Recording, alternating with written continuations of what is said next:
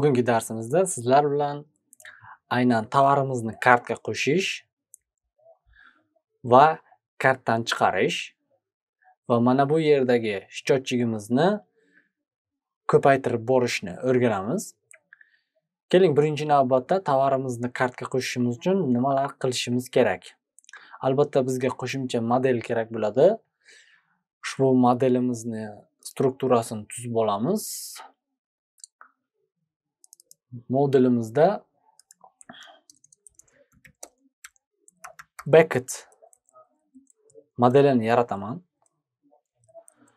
va ushbu modelimiz modus moduldan nasl oladi. E'tibor beradigan bo'lsak bitta foydalanuvchimiz uchun bitta savatcha ochilishi kerak.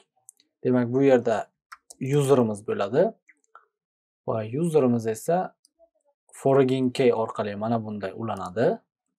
Lekin bu yerda foraging key ulangan vaqtda biz set null emas cascade orqali ulaymiz. Agarda userimiz o'chib ketadigan bo'lsa demak savatimiz ham o'chirib yuborilishi kerak. Sababi userimiz o'chib ketgandan so'ng savatni ma'lumotlar omborida ushlab turish mantiqsiz. Bitta savatimizga agarda bitta produkt joylash imkoniyati mavjud bo'ladigan bo'lsa to'g'ridan to'g'ri mana shu yerning o'zida produktimizni yozishimiz mumkin. Mana bunday ko'rinishda. Produkt. Lekin biz bir vaqtning o'zida bitta savatchada bir nechta tovarlarni saqlashni xohlasak demak ushbu modelimiz endi bizga ish bermaydi. Biz produktlarimizni saqlashimiz uchun alohida modeldan foydalanishimiz kerak. Ushbu modelimiz nomini Beckett produkt deb nomlayman. Ya'ni savatchaning tovarlari. Ma'lum bir savatchamizni yaratib olamiz. Mana savatchamizning o'zi va ushbu savatchamizning tovarlarini alohida tableda saqlaymiz. Models model. Va e'tibor qilamiz. Bizda bu yerda albatta backend product modelimiz savatchaga bog'langan bo'lishi kerak. Shuning uchun bu yerda backendni ham yozib qo'yamiz. Mana bunday. Agarda backetimiz ya'ni savatimiz o'chib ketadigan bo'lsa produktlarimizni ham shunchaki o'chirib yuboramiz. Shuning uchun bu yerda cascade o'z holaticha qoladi. Keling endi mana shu yerda biz savatimiz qachon yaratildi? Va savatimizdagi produktlar qachon qo'shildi? Mana shularni aniqlab borishimiz uchun created at yozamiz. Models date time filtrdan foydalanamiz. E'tibor qilamiz bizda auto know at auto created va auto knowlar bor. Aynan obyekt yaratilgan vaqtda avtomatik holatda obyektga qandaydir vaqtni biriktirib qo'yish uchun ishlatiladigani bor. Aynan obyekt ichidagi qaysidir maydon yangilangan vaqtda aynan yangilab qo'yiladigani bor. Mana masalan kelingki bizda xuddi shunday updated at ham mavjud. Mana shunday. Agarda bizga obyektimiz yaratilgan vaqtda faqat bir marta vaqtni yozib qo'yish kerak bo'lsa autoni atda shunchaki true belgisini qo'yamiz va Django avtomatik ravishda ushbu obyekt yaratilgan vaqtda ushbu maydonga vaqtni yozib qo'yadi. Va har safar ushbu maydonning ushbu obyektning qaysidir maydonlari yangilanganda esa updated at ya'ni eng so'nggi yangilanishlarni aniqlab borish uchun biz auto shunchaki true deb qo'yamiz. Xuddi shunday ushbu paket produkt modelimizda ham kerak. Xuddi shu narsa bizda produktimiz ham qachon qo'shilganini aniqlashimiz uchun bu yerda ham kerak. Lekin e'tibor qiling bir xil kodni uchta joyda qayta qayta takrorlab yozdik. Aynan ushbu takrorlashdan qochishimiz uchun men taklif qilaman bazaviy bir model yaratib olamiz va ushbu bazaviy model asosida barcha klasslarimizni yaratamiz. Va mana shunda biz qayta qayta ushbu kodni yozishdan qochamiz. Bu vaziyatda deyarli barcha klasslarimiz uchun kerak created at va updated at. Kontakt uchun ham kerak va kategoriya uchun ham kerak. Ushbu kodni olaman. Va yuqoridan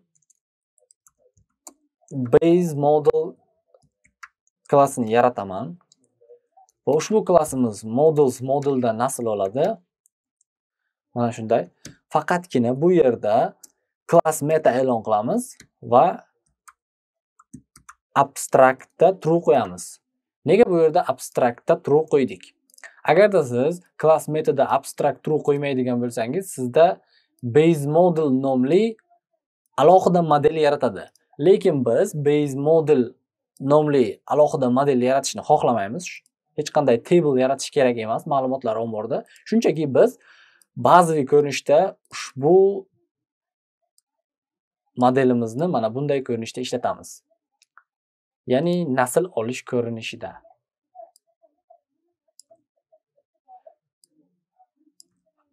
Endi mana bu yerdan ushbu yozuvlarni o'chirib tashlaymiz va nasl olinganligi uchun avtomatik tarzda shu yerga qo'shiladi.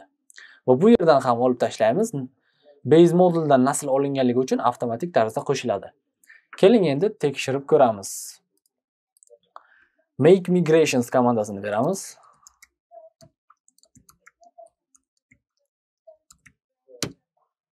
Make migrations komandasi berilgandan so'ng bizda quyidagicha oyna chiqyapti. Demak siz autoni add true ni qo'ydingiz lekin sizda mavjud ma'lumotlar bor deyapti. Oddiy qilib tushuntiradigan bo'lsam endi ushbu mavjud ma'lumotlarga qandaydir default qiymat berish kerak. Biz bundan oldin ham bu muammoga ancha ko'p duch kelganmiz. Demak birni bosamiz ya'ni birinchi selectni tanlaymiz. Mana bu selectimizni default qiymat berish uchun. Default qiymat berishga bosganimizdan so'ng endi bizga aytyapti agar istasang time zone no ni qo'y. Sababi date time field bo'lganligi uchun avtomatik подсказка qilyapti. Agarda siz shunchaki enterni bosadigan bo'lsangiz avtomatik holatda time zone no ni oladi va hozirgi vaqtni joylashtirib qo'yadi oddiy qilib aytganda. Bizga time zone now kerak va keyingi modelimiz uchun ham so'rayapti. Bizda bir nechta mana masalan kontaktimizda ham obyektlar bor produktimizda ham obyektlar bor kategoriyamizda ham shularning barchasi uchun birma bir so'rab chiqyapti. Bu safar ham birni bosamiz va enter orqali yana tasdiqlaymiz. Barcha maydonlarga qo'shib chiqildi. Endi keling adminkamizga o'tamiz.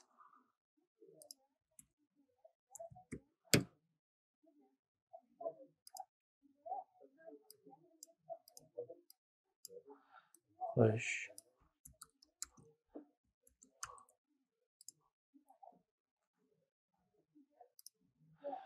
Endi kategoriyamizga kiradigan bo'lsak masalan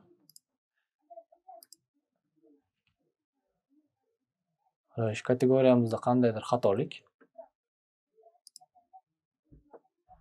product product. Product product created at does not assists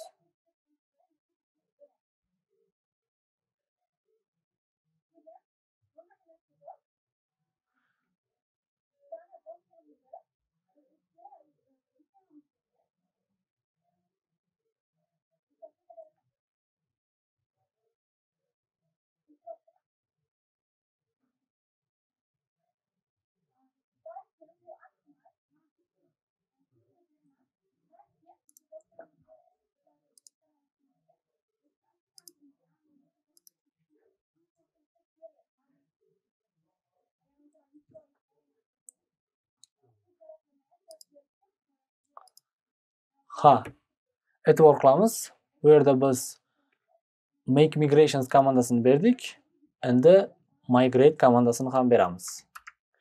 Shuning uchun bizga xatoligimiz kelib chiqdi. Va mana endi. Keling kategoriyamizga o'tib bitta kategoriyamizga kirib ko'radigan bo'lsak bu yerda created and and updated edge mavjud emas. Biz bularni adminkaga ro'yxatdan o'tkazish orqali chiqarishimiz mumkin.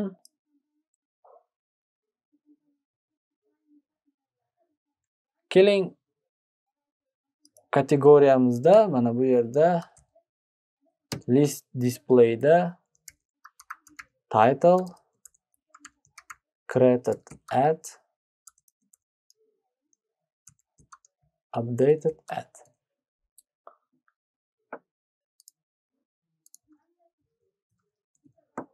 xo'sh.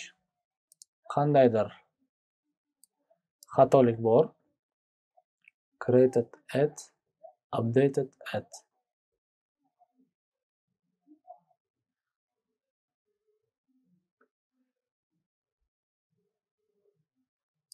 list display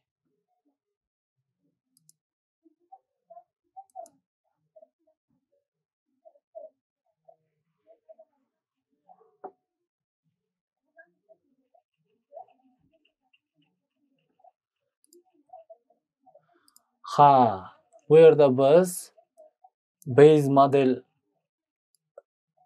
klassimizni kategoriyaga qo'shishni unutibmiz keling qayta make migrations komandasini beramiz bir time zone no. Va migrate komandasini beramiz va shundan so'ng sahifamizni endi yangilaymiz mana e'tibor qilamiz created at va updated at bizda chiqdi xuddi shunday barcha klasslarimizda ham paydo bo'ldi. Keling endi davom etamiz. Biz backet yaratib oldik va backetga produktlarni qo'shish funksionalligini qildik. Endi bizga shablon kerak bo'ladi. Qandaydir shablon topishimiz kerak. Keling start bootstrap nuqta comdan emas get bootstrap nuqta comdan qandaydir kart olamiz.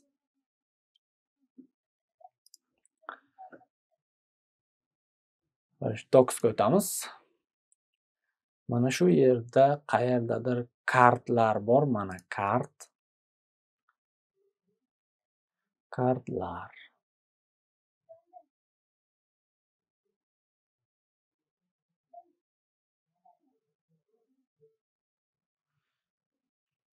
Menimcha mana shu kart bizga mos keladi. Chap tomonda suratni va o'ng tomonda tovar nomi tovarning descriptioni oxirgi marta qachon ushbu tovarda yangilanish bo'lgan yoki yaratilgan shunga o'xshash narsalarni ma'lumotlarni chiqarishimiz mumkin. Keling endi mana bu yerda biz bucket.html faylini yaratamiz. Bucket.html va ushbu html sahifamizni product createdan nusxa olgan holatda qilamiz. Mana shunday. Faqatgina biz forum qismini o'chirib tashlaymiz va mana shu yerda kodlarni olib tashlaymiz. Mana bu kodimizni tashladik. Ajoyib. Hozirgi vaziyatda men kodlarni o'rtaga olishni refak kode va reformat kode aynan mana shu qisqa komandalarni berish orqali amalga oshirdim. Endi sahifamizni sahifamizni yangilaymiz. Aynan kart tugmasiga bosilgandan so'ng biz hozirgi yaratgan backet html sahifamizga o'tishimiz kerak. Buning uchun yangi route yaratamiz. Yangi routeimiz esa quyidagicha bo'ladi. Backet bu yerda ham backet backet list view. Demak yoki backet product list view qilishimiz mumkin shunday va shundan so'ng list viewdan nasl olamiz modelimiz esa bucket produktlar bo'ladi import qilib olamiz ushbu modelimizni va shundan so'ng bizga kerak bo'ladi template name. Backup.html endi keling ushbu routimizga to'g'irlab yuboramiz navbarimizdagi aynan mana shu kartga bosilsa battonni a tagiga a tagiga o'zgartiramiz to'g'rirog'i a yoki a. url bizda backet ajoyib. Sahifamizni yangilaymiz. Endi kart tugmasiga bosamiz va e'tibor qiling bizda backetimizga o'tdi. Va mana bu yerda all products ha bu navbar mana bu yerda product bucket products. Yaxshi. Endi keling. Mana shu yerda produktlarimizni yuborib olganimizdan so'ng dizayn ustida ishlaymiz. Hozircha hech qanday ma'lumot bo'lmaganligi uchun for ham boshqa ishlarni ham bu yerda yozmayman. Shunchaki hozir sizlar bilan mana bu yerdan backetga bosilgan vaqtda aynan shu savat ichiga tushadigan qilish funksionalligini qilamiz birinchi navbatda. Aynan mana shu savatchaga bosilgan vaqtda biz nima qilishimiz kerak? Agar foydalanuvchi bundan oldin qandaydir savat yaratgan bo'lsa ya'ni backet obyekti yaratgan bo'lsa ushbu obyekt ichiga produktimizni joylab qo'yishimiz kerak. Agarda yaratilmagan bo'lsa demak avval savat yaratishimiz kerak va shu savatimizga undan so'ng tovar joylab qo'yishimiz kerak. Keling yangi bir rout yaratamiz va ushbu routimiz aynan savatimiz ichiga produktni qo'shadigan rout bo'lib hisoblanadi. Buning uchun biz quyidagicha rout yaratamiz. Bucket create product va albatta produkt yaratish vaqtida qaysidir produktning idsi bo'lishi shart. Bu yerda esa bucket product create view. Bucket product create deb nomlaymiz. Keling ushbu klassimizni yaratib olamiz.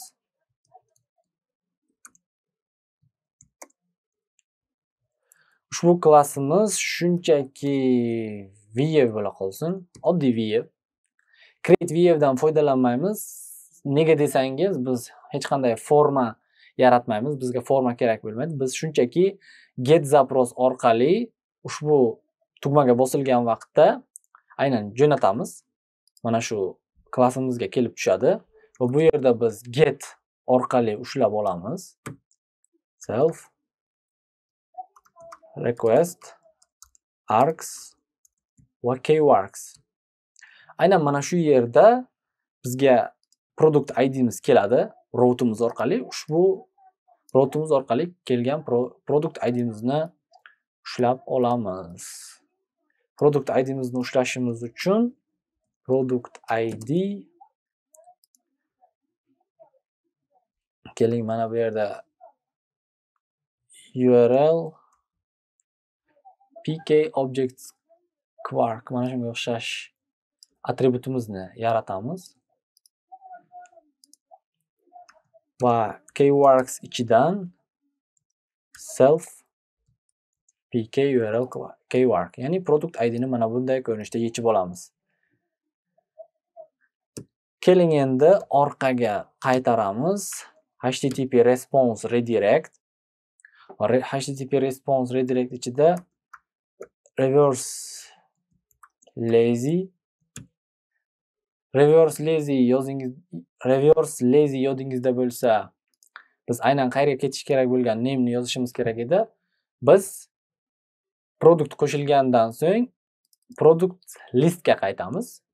Ya'ni mana e'tibor qiling ushbu tugmaga bosiladi va jo'natganimizdan so'ng yana qayta shu sahifaning o'ziga qaytishimiz kerak. Mana shu sahifaning o'ziga qaytishni tayyorladik. Endi product idimizni ekranlashtirib ko'ramiz. Haqiqatda kelayotgan yoki yo'qligini. Sahifamizni yangilaymiz va ushbu tugmamizga ham biriktirishni unutmasligimiz kerak.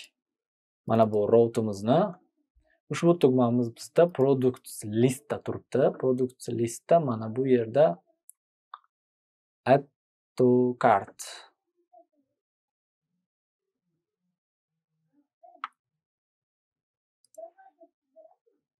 Adashmasam mana shu yerda update qo'yib qo'yilgan lekin update emas bucket product create ga o'zgartiramiz. E'tibor qiling. Ha chap tomon pastki burchagimizda bucket create product to'qqiz. Endi ushbu tugmamizga bosamiz. Bosdik. Bizda zapros ketdi va orqaga redirect amalga oshdi. Endi konsolimizni ko'radigan bo'lsak konsolimizda to'qqizinchi id mana get zapros bucket create product kelgan va produktning idsi bizda to'qqiz. Ushbu produktimiz bilan ishlashni boshlaymiz. Va shu joyda bizga savat hali yaratilmagan ya'ni hech qanday beketimiz mavjud emas. Beketimizni yaratib olishimiz kerak. Beketimizni import qilib olamiz. Object create orqali yaratamiz. Demak bucket yaratgan vaqtda bizga majburiy maydon user. Demak userni yaratishimiz kerak. Demak biz bu yerda user yozamiz va requestning ichida bizda user bor. Mana shunday va shundan so'ng bucketimizni yaratib olamiz. Keling endi tekshirib ko'raman. Ushbu tovarimizga bosamiz bosdik. Endi terminalimizni ko'radigan bo'lsak bucket object yaratildi. Lekin bu yerda ikkita muammo bor.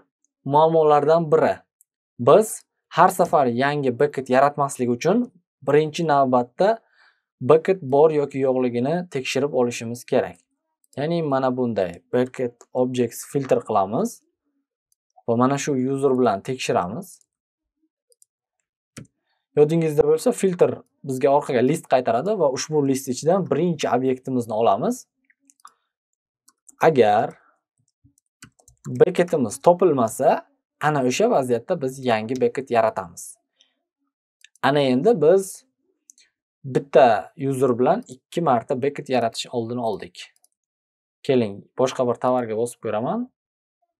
Sahifamizni bitta yangilab olamiz.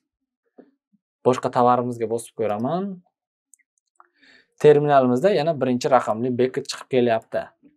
Aynan mana shu kodimiz qayta qayta birinchi beketni olish imkoniyatini bizga beradi. Muammoning ikkinchisi shundan iboratki agarda siz tizimdan chiqadigan bo'lsangiz va tizimdan chiqqandan so'ng qandaydir tovar zakazni qilishni xohlasangiz o'sha vaziyatda bizda quyidagicha xatolik beradi. Sababi bu yerda request ichidan yuzerni olishda xatolik yuz berdi.